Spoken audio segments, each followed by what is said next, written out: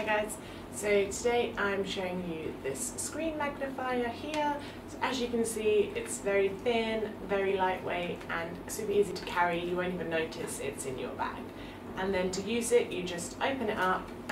pull out the screen and then put this in like so. And once you've done that you can just put your phone behind the screen and you'll see that it has automatically made the screen about two to three times bigger. So this type of device is great for either people with bad eyesight, so if you're getting a bit older or if your parents are and you want to get them a gift, then this is the solution because it makes the screen bigger, or just if you are sick and tired of looking at such a small screen when you're watching TV, if you find yourself you're getting a headache or your eyes are starting to strain, you just put it in here and it'll be like you've turned your phone into a tablet which is great for everyday use and it's also great if you travel for long hours or if you're going on holiday and you won't have a screen then you can just put this on your table on the plane put it in and it'll feel like you're watching a bigger screen than you are so it'll be much more comfortable for you and it's a very easy way to do it.